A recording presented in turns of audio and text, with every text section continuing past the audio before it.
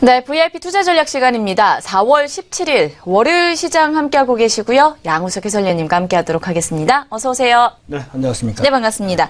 자, 이번 달 증시에 있어서 최대 변수로 꼽히고 있었던 이 미국의 환율 조작국 지정과 북한의 핵실험과 같은 문제들이 무난하게 지나가면서 시장에서는 안정세를 찾고 있는 것으로 보여지고 있습니다.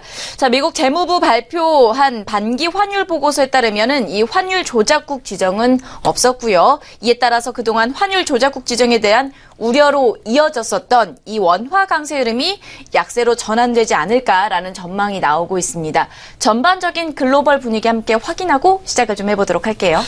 예, 그 환율 조작국으로 우리가 지정되는 것, 그 위험은 좀 피했죠. 어, 하지만 우리가 주도적으로 에, 그런 위험을 피한 것 같지는 않고요. 어, 미중 관계에서 우리 지금 우리 그 문제가 좀 피해 나가는 어떤 어드밴티지를 어, 좀 얻은 것 같습니다. 아, 기회를 좀 탄 측면이 있다는 것이죠. 자, 오늘 우리가 중요하게 봐야 되는 것은 일단 지수도 그렇지만 전체적으로 시장 판도가 그 전과는 좀 다르게 움직이고 있다 하는 것에 예, 그 포커스를 좀 맞춰줄 필요가 있다는 것이죠. 아직까지는 어, 비록 미중 관계 또 대북 문제가 어느 정도 어, 완화되는 듯한 그런 분위기가 조성되긴 했지만 아직까지는 불충분합니다. 여전히 불확실한 그런 상황이라고 했을 때 에, 지금 현재 아시아 증시 물론 중국 증시는 또 다른 이유로 약세를 보이고 있긴 하지만 어느 정도의 영향을 받는 측면도 분명히 있습니다. 또 일본 증시는 더욱더 그런 지정학적 위험에 그대로 어, 민감하게 반응하는 편이죠. 아, 이들 두 증시가 그렇게까지 가파르게 반등하지 못하거나 또는 오히려 더 빠지는 그런 상황이 전개되고 있다라고 한다면 에, 지정학적 리스크는 여전히 글로벌 시장을 압박하고 있는 그런 상황입니다. 자, 그럼에도 불구하고 마치 이 문제가 어, 해결된 것처럼 또는 그것을 기대하는 것처럼 우리 증시는 코스피 지수도 마찬가지고요. 또 코스닥 지수는 1.5% 이상, 어, 1.8% 정도 가깝게 초급증을 하고 있는 이러한 시장의 반응은 우리가 대체 어떻게 해석을 할 것인지에 대한 전반적인 윤곽과 또 그쪽에 초점을 맞춘다면 어떤 전략을 갖고 어, 접근할 것인지에 대해서 진지하게 한번 생각을 해봐야 된다는 것이죠. 너무 큰 기대를 해서는 좀 곤란한 측면이 있다는 것이죠. 그런 것까지를 고려해서 어, 시장을 보시기 바랍니다. 자, 환율부터 보도록 하겠습니다. 어, 지난 주말 미국 증시는 시장이었기 때문에 달러 인덱스는 그대로입니다. 100.5고요. 이에 들어서 현재 유로 가치도 어, 현재 106, 101.06달러 정도 수준에 머물러 있죠. 자, 엔달러 환율입니다. 아시아 외환 시장에서도 어, 지난 주말에 결정되어 있는 그 환율에서 크게 변화되지 않고 있는 모습입니다. 어, 108.4 정도 수준에서 움직인다는 것이죠. 여전히 단기 추세상으로 어, N저가 아닌 N고 방향으로 움직이고 있다는 것이고요. 자, 원달러 환율 및 원엔 환율입니다. 원달러 환율은 어, 전일 대비 약 4원 정도 빠진 1135원 정도, 원엔 환율도 약 3원 정도 아래인 1047원 정도에 시작을 했지만 다시 현재 엔화 대비 또 달러 대비로 원저 방향으로 비록 큰 폭은 아니지만 움직이고 있습니다. 그동안 가파르게 현재 원저가 진행이 됐기 때문에 지정학적 위험이 어느 정도 완화되는 분위기라면 어, 보다 가파르게 현재 어, 원화 약세가 원화 강세로 어, 더 진행되는 쪽으로 가야 되는데 그렇지는 않았습니다. 여전히 외환 시장은 어, 충분히 시장이 위험이 완화된 것은 아니다. 이렇게 이제 보는 것 같습니다. 그 점에 대해서 우리가 간과할 수는 없다는 것이고요. 어, 위안화 환율입니다. 6.8785, 전일 대비 0.0045 위안만큼을 올렸습니다. 약간 절하시켰다는 얘기죠. 그 폭은 크지 않습니다. 0.07% 정도 수준으로서 시장에 미치는 영향은 뭐 상당히 제한적이었다는 것이고요. 자, 중요한 것은 앞에서도 언급이 됐습니다만 미국의 주요 지표가 발표가 됐습니다. 상당히 좋게 나왔다는 거죠. GDP 성장률 6.9%. 아, 지금 중국 관계 당국에서 중국 정부에서 좀 제시한 목표치는 6.5% 정도 됩니다. 예, 그것을 훨씬 능가한 아주 좋은 수치가 나왔다는 것도 그렇고 또 세목별로 보게 되면 소매 판매가 10.9%예요. 어, 작년하고 거의 비슷한 수준입니다.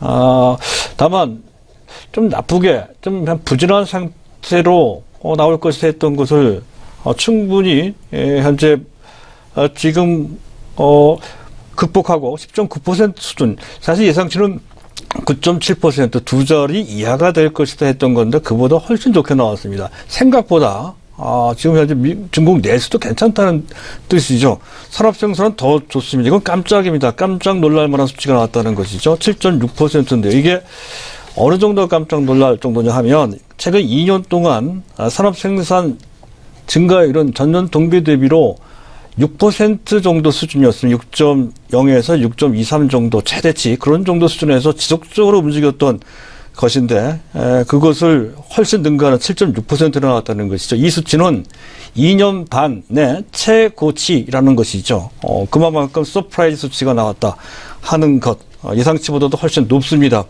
또 고정 자산 투자 이건 1.3월 누계치입니다. 아, 1.3월 누계치로 9.2% 이것도 surprise입니다. 작년 1월부터 12월 누계치가 8.2%였습니다. 그것도 계속 추세적으로 계속 다운되고 있는 상태 하에서 더 떨어질 것이다. 8% 아래로 될 것이다 했던 건데 또 현재 물론 금년 1, 2월 달은 나쁘지 않았죠. 8.9 정도 수준이었지만 어, 현재 계절적인 그런 측면에서 더 다운될 것이다. 이렇게 봤던 건데 그런 예상을 완전히 뒤엎었습니다. 8.9를 훨씬 넘어서는 9.2 누계치니까요. 그러니까 3월 달만 따지면 상당히 많이 올라간 거죠. 그런 것을 보면 역시 얼마 전 어, 지난 주죠. 어, 중국의 3월 달 수출 증가율이 무려 16.4% 그것도 달러 기준입니다. 에, 그렇게 늘었다는 것까지를 고려해 본다면 비록 오늘 중국 증시가 비교적 큰 폭으로 추가적으로 하락한 상황이 전개되더라도 중국 경제 자체는 어, 시장에 예상하고 기대했던 그 이상으로 어, 나쁘지 않거나 더 좋은 것으로 그렇게 판단이 되고 중국 경기가 좋으면 우리나라 어, 제조업 경기도 상당히 좋겠죠. 어, 물론 중국 쪽의 소비 쪽도 사드 문제가 약간 남아 있습니다만 여전히 그 부분도 가능성이 있다는 것으로 충분히 해석할 수 있는 그런 정도의 좋은 지표가 나왔다는 거. 이건 한번 우리가 어, 머릿속에 기억해 놓고 어떻게 이것이 우리 정치에 반영될 것인지에 대해서 한번 계속 관 찰을 하고 해당되는 종목들 또는 섹터들에 대해서 어, 그 타이밍을 잘 잡아볼 필요가 있겠다는 판단을 해볼 수가 있겠습니다. 중국 증시가 그럼에도 불구하고 빠지는 것은 그 전에 말씀드렸었죠. 어, 작년 11월, 10월 달 정도 되는 것 같습니다. 6종 전에 당시 시진핑 주석이 직접 얘기했던 이른바 금융 경제 부분 3대 모순 중에 하나가 자산버블, 그 중에서도 증시버블이었습니다. 그것과 관련돼서 증감회에서의 증시 규제 소리 나왔었죠. 근데 바로 그것 때문에 그런 것이 아마 그런 식으로 가파르게 올라가면 그런 식의 규제가 계속 나올 소지가 높음을 보여주는 그런 대목이라는 것까지 감안한다면 많이 올라갔을 때 절대 흥분하면 안 된다는 것을 우리가 알 수가 있습니다. 자, 다음은 우리나라가 환율 조작국 피지정에서 면피했다는 건데요. 매 6개월마다 미국 재무부에서는 의회에 환율 보고서를 제출을 하죠. 그럴 때마다 우리나라가 환율 조작국으로 지정될 수 있다는 그런 어, 리스크가 있었다는 건데요. 어, 다행스럽게 이번에는 좀 빠졌습니다. 두 가지가 해, 그 해당이 됐었죠. 대미 흑자가 너무 크고 200억 달러 넘어갔다는 것하고 또 경상수지 흑자 우리 GDP 3%가 넘어가면 문제가 된다는 건 우리나라 7%나 됩니다. 두 개가 해당되는데 다만 일방적으로 시장에 개입하지는 않았다는 것이 인정이 돼서 중국이 빠질 때 우리도 덤으로 좀 빠진 측면이 있었다, 있었다는 거죠. 다만 환율 조작국 관찰 대상국 그 전에도 그랬었죠. 그 위치는 뭐 계속 어 현재 유지되는 것 같습니다. 나라도 여섯 개인데요. 어, 그들이 역시 변동 없이 진행이 돼 약간 언짢은 것은 우리나라 시장, 우리나라 관계 당국에 대하여 어, 외환시장 개입 그렇게 많이 하는 것 같지도 않은데 에, 개입을 자제하라고 했고요. 더 나아가서 재정 확대를 권고했습니다. 이거는 글쎄요, 그 내정 간섭 아닌가요? 어, 좀, 암만 미국이라 하더라도 이 부분은 조금 오버한 듯한 느낌이 좀 듭니다. 어쨌든, 그런 내용이 좀 있었고요. 아, 그리고 이제 미국의 국채금리 2.198, 아, 예를 들면 0.34 베이스 포인트 1월 날 잠깐 거래가 됐습니다. 야간 야간에 거래됐다는 거죠. 34 베이스 포인트로 내려갔다는 건데요. 아, 잠깐 준비된 차트를 보시기 바랍니다. 음, 현재 10년물 국채 금리인데요. 어, 상당 기간 거의 한 5개월 정도 만들었던 박스권 최하단 부분이 좀 붕괴, 이탈되는 것 같습니다. 이 모습만 본다면 어, 트럼프 랠리가 끝나간다라고 볼 수 있는 네, 그런 모습입니다. 이 모습은 안- 좋지 않은 모습이죠. 즉 채권 금리가 떨어진다는 얘기는 채권 가격이 올라간다는 거잖아요. 올라간다는 그 가격이 올라간다는 얘기는 주식 시장의 자금이 채권 시장으로 이동되고 있다는 것을 뜻하기도 합니다. 그래서 그런 측면에서 봤을 때 다소 불편한 모습이고요. 이 바람에 우리나라 어, 국고채 10년물하고의 에, 현재 금리 차이, 스프레드입니다. 장기물 스프레드가 지금 0.013% 포인트 정도 수준으로 평상시 지켜왔던 0.2 포인트, 어, 0.3 어, 퍼센트 포인트 그를 거의 10분의 1 정도 수준으로 급격히. 잘, 자칫 잘못하면 이번 주 중 역전될 수도 있습니다.